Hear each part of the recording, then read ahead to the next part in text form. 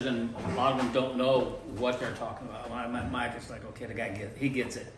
You know what I Well, mean? Mike's been doing it a while, so. Well, I mean, I've worked for guys that have been doing it for a while that think they know what they actually know. I mean, in my opinion, the actual construction and application Yeah. is, to me, is different than, uh, pushing. Well, I think, I mean, I think even he would say, I mean, at the end of the day, how many, I mean, it goes both ways, right? Contractors and investors, if you don't have, if you're not on the same page, it's over from day one. But see, there's the other difference I was always talking about, is like the whole budget idea. I mean, budgets are tight in rehabs. So you can only hire maybe afford what you can afford.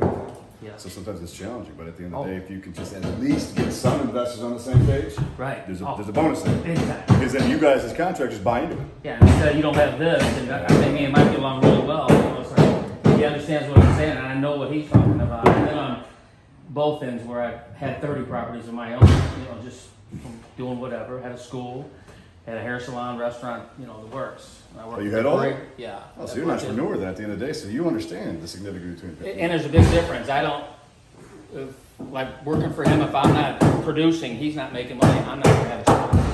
Ah, that's true. I'm Hey, he gets So- it. That's good. Big time. Yeah, a lot of people don't. You know, it's like, okay, I want to put in my eight and go. Well, I, don't, I've never functioned like that. I had that job at Anheuser-Busch for 10 years. I'm Yeah. like, but but I left a good job there. I had making good money.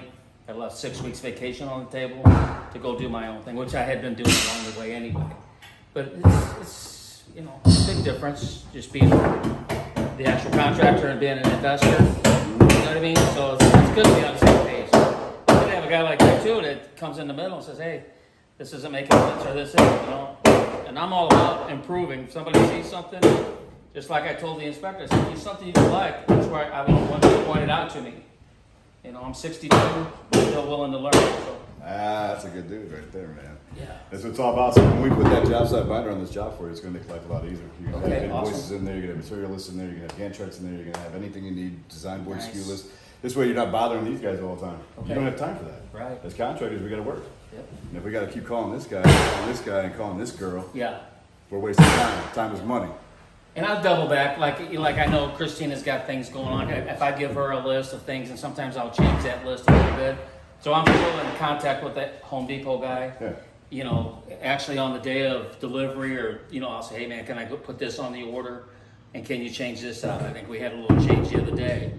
Uh, I changed up from a two by two to some. You know, I have a different idea, uh, more efficient. Remember, we were laughing about this. We we were talking about how many furniture. Yeah, That's a lot. yeah. Well, actually. But it is what it is. This house is on up. Yeah, honey, we're gonna go over this and laminate this and bring off and get rid of this nasty shit. You know what I mean? Now the walls go like that. It won't be like that when we're done. So. I was asking Mike yesterday, you guys are going to spray foam all the, the uh, between the bricks? Yeah, he, can't well, yeah, we're gonna have to do something. Fire pocket, right? Just, uh, so, And you guys are closing off, no more stairs? Is that the idea? right, we're gonna close this off up, pretty much like we did down here. Just took it. Actually, this was all rotten right here. Just tore all of it out, jacked it up downstairs, and rebuilt that. And he's putting clips on now, but we're gonna close this off up here and do the same, pretty much what we did down here. Are you to run your joists all the way across? Or you gonna Yeah, yeah, well, I'm not, I might, it depends on how much strength I got here. If it's, if it's that bad, I might cut back here and insist her in.